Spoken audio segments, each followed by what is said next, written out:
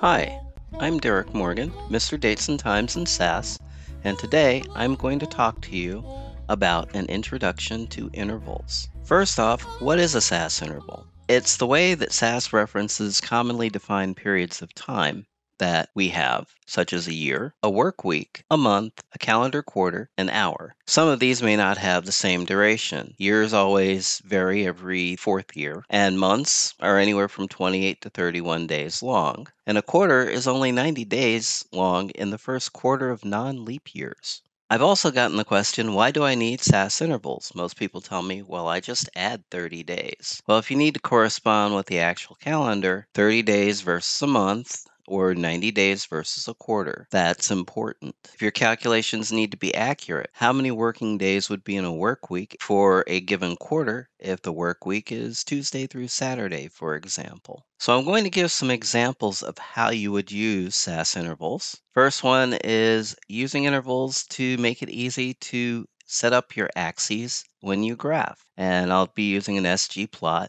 and automatically creating tick marks with intervals. I will show you the use of the intnx function, which is how you project dates using SAS. And the syntax is here. You have the intnx function call, the interval, which you can find a complete list, of course, at support.sas.com in the documentation, your starting date, the number of intervals you want to advance by. And this can actually be a negative number, but if you use a negative number, the data is going to be prior to your starting date. And then there's an alignment operator, which allows you to set the result at the beginning of the interval, the middle of the interval, the end of the interval, or in the case of years or months, the same day as the interval. If you leave it off, the default is the beginning. Finally, I'm going to discuss the most confusing interval function, intck, which is how you count intervals with SAS. And I'll explain why it's confusing in the example. You have, of course, your interval. You give it a starting date and an ending date. Now, if end date comes before a start date, then you're going to get a negative number as a result. And then this new parameter, which is method, and this is new in SAS version 9, and method allows you to switch between the default way that SAS has always counted intervals and the way we consider, we tend to think about intervals. So, on to the examples. Our first example is going to be graphing with an interval. And I'm just going to do a SAS plot, an SG plot, with a couple of dates, across dates, and these are time. So I'm going to specify the x-axis as time. And when you specify a type of time, you need to format your values with one of the date formats. And then the interval is a year. And I have my grid definitions. I'm defining I want minor tick marks at quarters, and I want major tick marks at years. If you do this, you don't need to know what the dates are in the data set. SAS will figure it out and it will automatically graph. So let's run it. And here we have our graph. And you notice that the data covers 1988 through 1992, and our major tick marks, our reference lines, are at the beginning of each year because I specified interval year, and the minor tick marks represent quarter two, quarter three, and quarter four. So this is a very easy way, instead of having to specify all of these in your axis statement one by one, you just say, I want major lines at years, and I want minor lines at the quarters, and SAS will do it. The next example is going to be INTNX.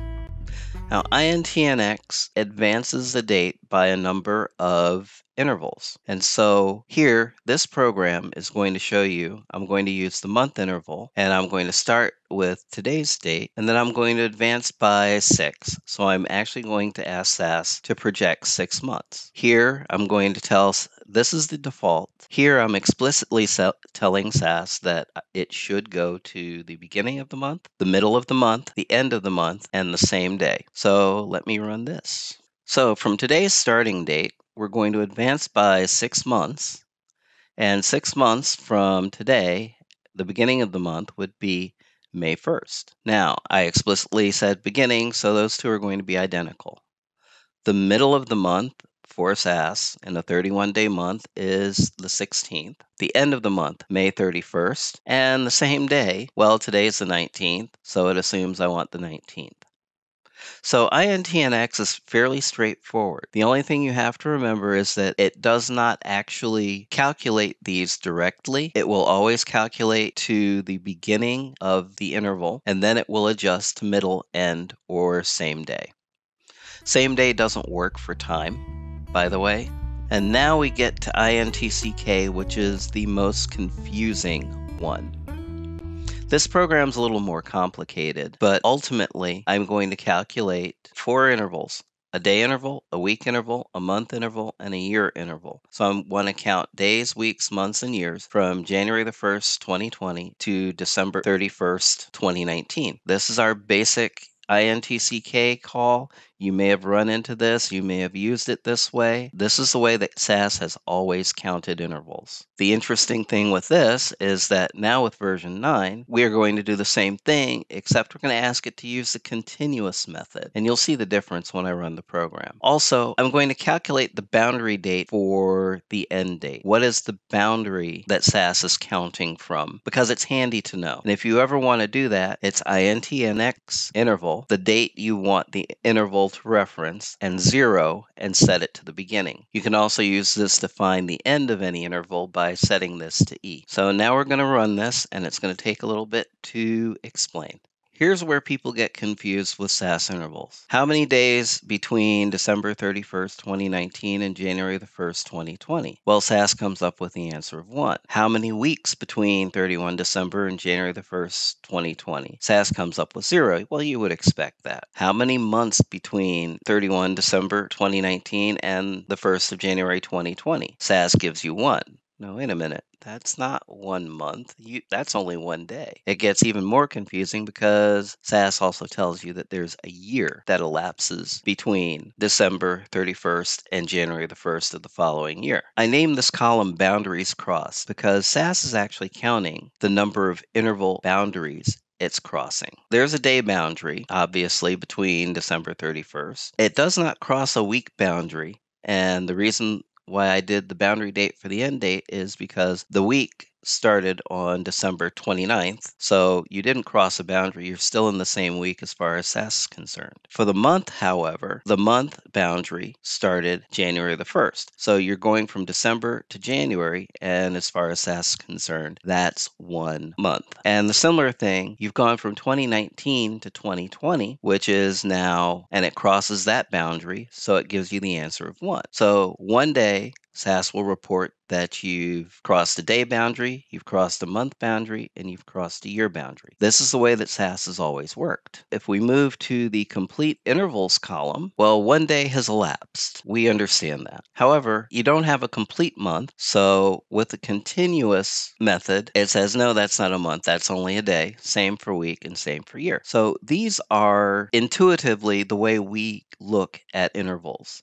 how we count elapsed periods of time. But just because we understand it doesn't mean you should go in and change your SAS programs that are using this because unless they're using the continuous method, they are relying on this. And if you change it, you're going to completely mess up your results.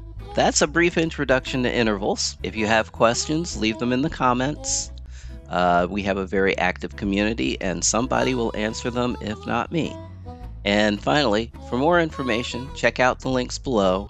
And remember, for more tips like this, subscribe to the SAS Users YouTube channel. I'm Derek Morgan, Mr. Dates and Times, and this has been an introduction to intervals. Thank you. So long, oh, high here to see you go. so long. Oh, I hate to see you go.